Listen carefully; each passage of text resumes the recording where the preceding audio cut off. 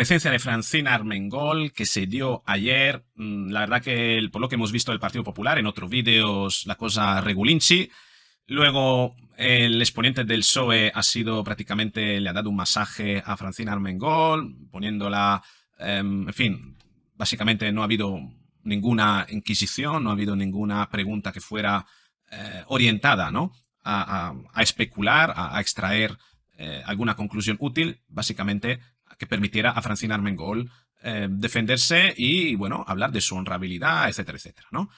Em, básicamente le hizo pantalla, ¿no? El Partido Socialista con, bueno, una intervención muy, muy, muy, muy suave, pero vamos a ver qué es lo que van a decir, van a preguntarle desde Vox y si van a ser un poquito más incisivos, si van a hacer reales preguntas a Francina Armengol o si van a entrar en lo politiquense como ha hecho el señor Bendodo, que ha sido realmente nefasto en su eh, intervención. Venga, vamos a verlo en este vídeo.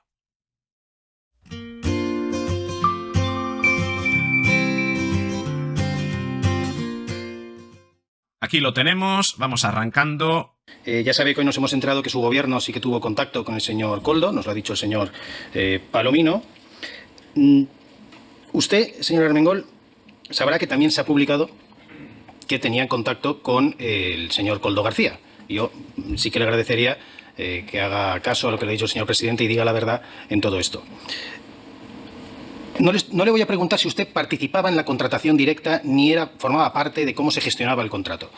¿Usted habló con el señor Coldo García para que se agilizara de alguna manera ese contrato eh, que tenían con soluciones de gestión? Uh, muchas gracias, uh, señor Campos. Yo no estoy implicada en ningún caso de corrupción.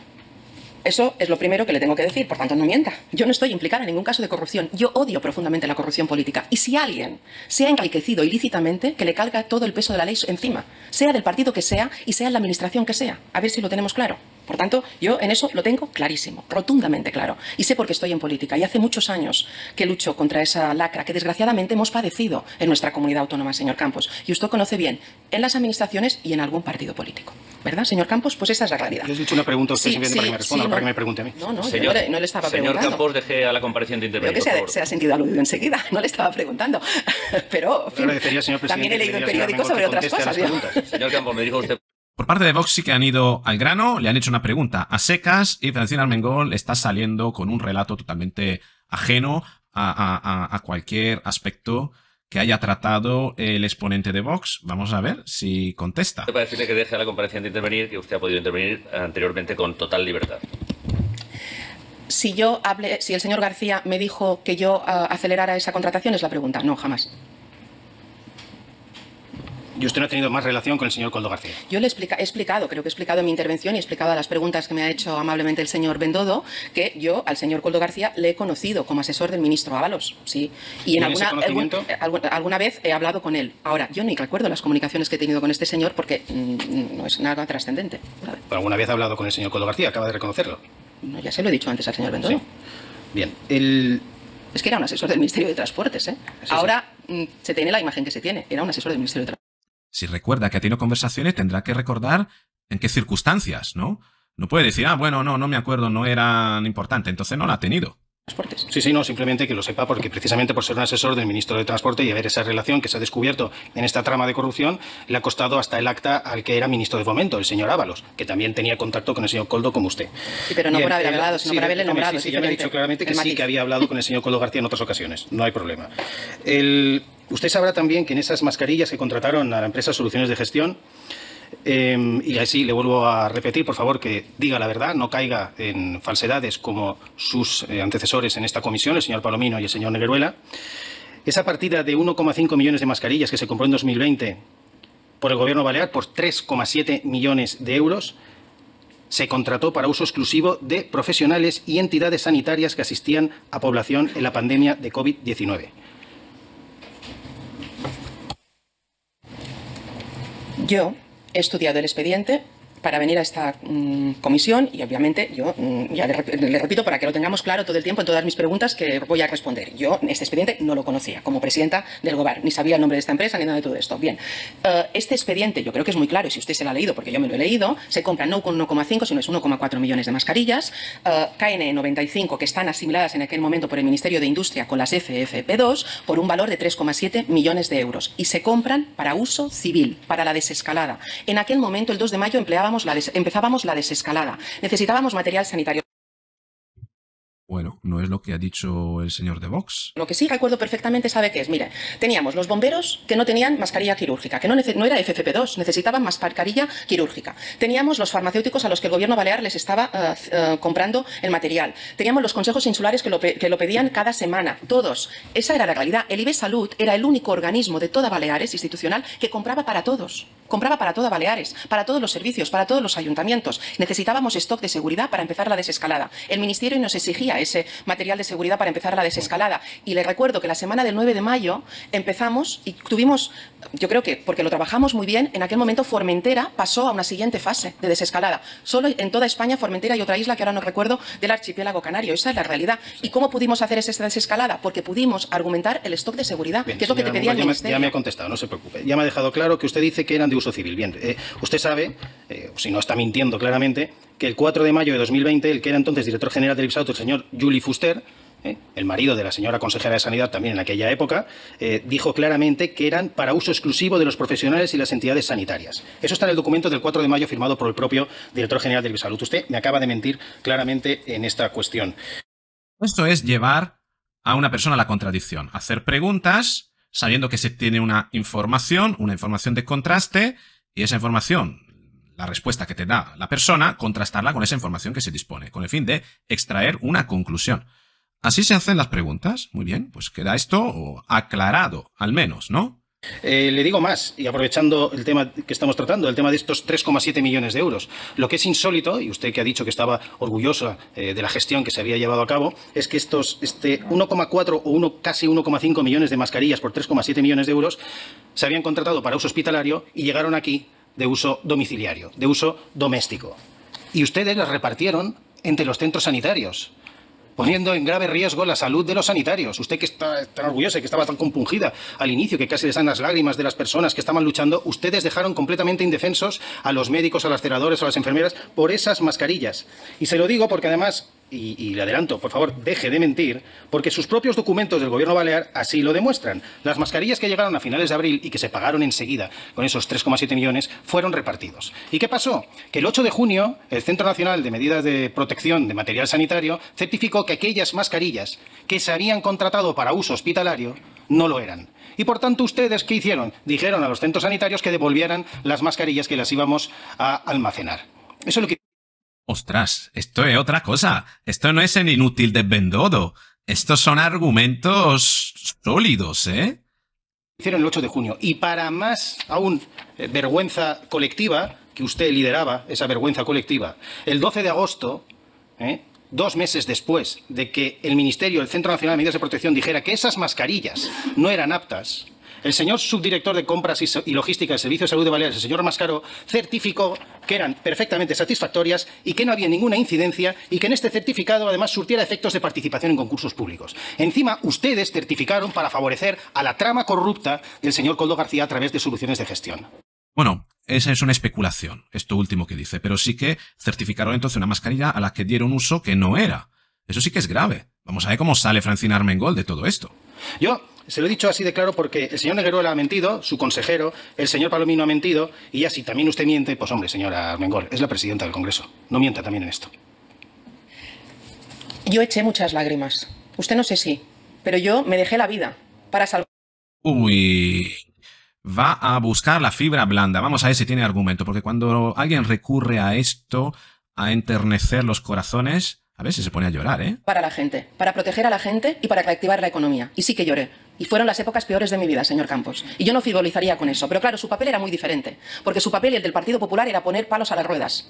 Porque no votaron nada a favor. Ni la compra de material, ni las ayudas a las empresas, ni no- No le está preguntando esto.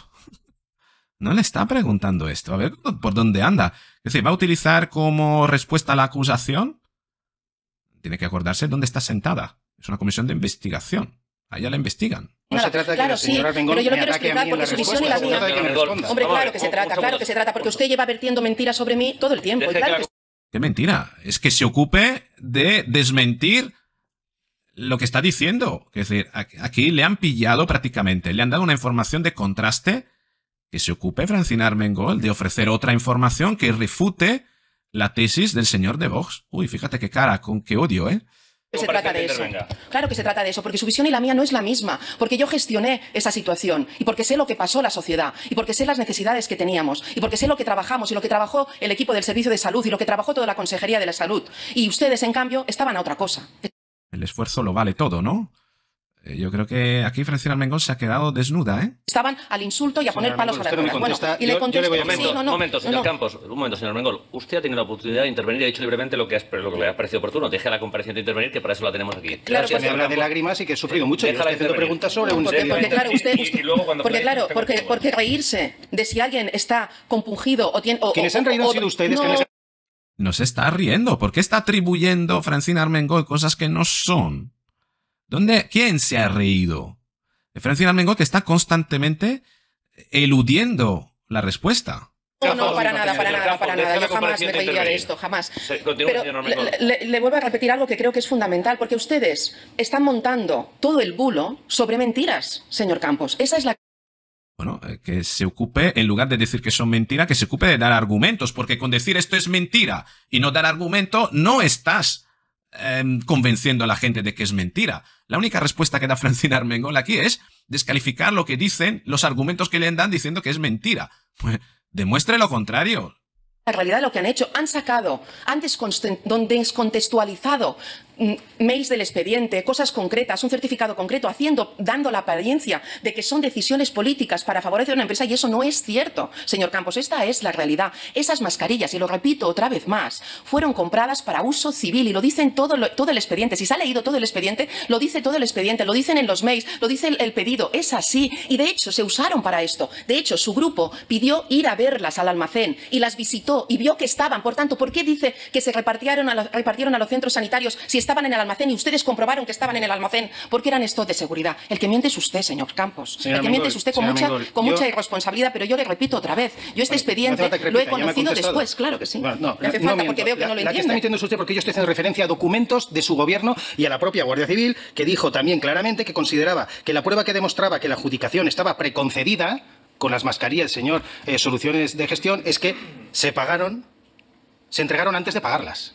Y eso lo dice la Guardia Civil. Así que yo no miento, yo le estoy diciendo lo que se ha publicado. Le he leído los documentos de su propio gobierno y lo que dice la Guardia Civil. La que está mintiendo abiertamente es usted. La que ha dicho, insisto, que estaba muy orgullosa de la gestión. Estaban tan orgullosos de su gestión que a la Fiscalía se lo ocultaron en el 2022. Cuando vinieron a Guardia Civil a la Consejería de Salud y se entrevistaron con el IPSalud, ustedes ocultaron toda la contratación de las mascarillas fraudulentas. Fíjense si usted eh, es transparente y nos dijo en aquel momento, pues lo que no quería decir, que realmente que les habían estafado y que encima estaban favoreciendo a la trama del señor Coldo García. Pero señor Armengol, usted que dice que está tan orgullosa de su gestión, no solo debe estarlo, entienda la ironía, por esta fabulosa gestión con la empresa del señor Coldo García, también debe estarlo, por ejemplo, con lo que pasó con las contrataciones de los vuelos mientras usted era presidenta. Porque usted sabe que cinco de los 15 aviones fletados por el Visaru para transportar ese material sanitario desde China a Palma durante la pandemia sufrieron retrasos de entre dos semanas y un mes. Y ustedes estaban contratando a través del sistema de emergencia precisamente para que llegaran antes. Y al llegar tan tarde dejaron sin efecto cualquier tipo eh, de los beneficios que tenía la tramitación de urgencia. Y eso no lo digo yo, eso lo decía el director de la Oficina Anticorrupción, corrupción, señor Jaime Far, que casualmente ustedes destituyeron. Supongo que no les venía bien que el señor director dijera que si se invoca la extrema urgencia, la necesidad de contratación ha de satisfacerse inmediatamente. La excepción no puede invocarse para adjudicaciones de contratos que tarden más de lo que habrían tardado si se hubiera recurrido a otro procedimiento, incluidos los procedimientos acelerados. Y ese señor también les decía a ustedes que una vez superado los estadios iniciales de acuciante y perentoria necesidad, debería abandonarse la excepcionalidad de la tramitación de emergencia. ¿Y sabe qué hizo su gobierno? A continuación de lo que le decía el de la Oficina de Anticorrupción. Contratar por vía de emergencia un avión de material sanitario cinco días después de haber terminado el estado de alarma. ¿Eh? El mismo director de la Oficina Anticorrupción que también le dijeron varias, en infinidad de ocasiones en sus informes que se desconocían a los intermediarios y que las empresas que ustedes estaban contratando no reunían los requisitos para ser adjudicatarios. Porque su gobierno, señor Armengol, a los seis principales suministradores ni siquiera les requirieron si tenía algún tipo de experiencia. Y es que no la tenían, no tenían ninguna experiencia en el sector sanitario. La verdad que me gustaría ver la cara de Armengol mientras este le habla, ¿eh? Mascarillas de todas las que han comprado que se han pagado a la máximo precio. O sea, ¿de verdad que usted me va a volver a decir que está orgullosa de su gestión? Los que dejaron indefensos a los sanitarios, los que contrataron de manera fraudulenta, como decía su propio director de la Oficina Anticorrupción. ¿De verdad, señor Armengol, usted sigue orgullosa? Vox ha ido a señalar la incompetencia de Francina Armengol más que la, la mala fe, ¿no? Bueno, quizá las dos cosas, ¿no? Vamos a ver cómo contesta aquí Francina Armengol. Se habrá quedado gusto con ese mitin que no tiene nada que ver con la realidad, señor Campos, porque claro, a ver, eh, ¿de qué estoy orgullosa? Yo y toda la ciudadanía de Baleares, porque todos, apoya, todos nos apoyamos y trabajamos muchísimo, que todas las administraciones públicas contratamos por emergencia, todas, que en algunas comunidades autónomas no llegó el material, a, todas les pasó, que algunas, que algunas comunidades autónomas les caducó más material, a todas, ¿cómo no? Porque lo importante en ese momento de tanta dificultad era poder tener el material para poder servir a la ciudadanía si lo necesitaba. Esa era, esa era la clave. Y voy y acabo, pero señor, señor Campos, yo no tengo aquí todo el expediente, pero ustedes lo tienen, ustedes lo tienen todo. Saben perfectamente cómo, cómo son los correos electrónicos y cómo se compra entre los diferentes miembros del Servicio de Salud funcionarios que deciden la compra. Le leo uno, el 24 de abril. Necesitamos un código SAP, dice uno del servicio de compras a otro, para una compra que hemos hecho para uso ciudadano no intrahospitalario. La descripción podría ser FFP2KN95 y se llevan al almacén. Lo dicen ellos. El mismo día. Se compra para uso no hospitalario. ¿Por qué mienten con eso? Es que no tiene ninguna, ninguna, ninguna razón de ser, de, ser, de ser hacer esto. Intentar ensuciar el trabajo de gente que, trabaja, que trabajó maravillosamente en muchas dificultades. Y claro que se pudieron cometer algunos errores en Baleares y en toda España, sin duda. Y en todo el mundo, por cierto. Señor Campos, tiene que ir finalizando brevemente su última pregunta, por favor. Voy finalizando, señor presidente. Y gracias por su amabilidad en el tiempo. Eh, señor Armengol, yo le estoy interrogando a usted porque usted era la máxima responsable. No estoy poniendo en duda el trabajo fantástico que hicieron los profesionales, los sanitarios y los médicos a los que ustedes dejaron indefensos al repartir unas mascarillas que eran de uso domiciliario, cuando eran de uso hospitalario. Eso que me acaba de leer no es del expediente que estamos ni el que certificaron ustedes de la empresa Soluciones de Gestión. No es ese expediente. Y simplemente, señora Bengol, usted está muy orgullosa, puede explicarle ese fabuloso orgullo a la Fiscalía Europea, a la Guardia Civil y a todos los que están investigando la Audiencia Nacional, incluida de esa fabulosa gestión de la que usted siente tanto orgullo. Pero mire, ¿sabe qué le digo? Yo creo que ustedes, señor Armengol, realmente eran cómplices de unos comisionistas sin escrúpulos. Y puede que ser que incluso de una financiación ilegal de su partido. Muchas gracias eso yo le pido que lo retire, porque eso no es cierto. Ni yo estoy investigada, ni soy cómplice de nada, ni acusada de nada de corrupción. Y ya basta de esos bulos, señor Campos, porque eso no es, no, es la... Bueno, esto es lo que tenemos. La verdad que el interrogatorio de Vox ha sido, del señor Campos, ha sido bastante más incisivo, del señor Bendodo, que se ha ido con, tratando de filigrana, barroco, un poco de manierismo, eh, haciéndose el interesante, la verdad que, que, casposo, de verdad. Eh, pero bueno, es el nivel que tenemos aquí en España. En fin, em, no sé si has visto el vídeo sobre eh, la intervención del PP y sobre la del de, eh, exponiente de Vox. ¿Cuál de los dos te ha gustado más? ¿Cuál cree que de los dos ha sido más incisivo? Em, ¿Crees que en algún momento hemos visto alguna fisura, alguna incongruencia, alguna incoherencia, alguna contradicción en Francina Mengol? ¿Tú qué opinas? Escríbeme en los comentarios. Si te ha gustado el vídeo, dale a like. Si crees que puede interesar a otra persona, compártelo. Si no estás suscrito, suscríbete al canal. Suscríbete, que así seguiremos viéndonos en los próximos vídeos, donde analizaremos más cuestiones de la política española. Y, ¿por qué no? A veces de la internacional. Hay cosas que están cociéndose por ahí, ¿eh? No hay que perderla de vista. Con esto es todo. Un beso. Hasta luego.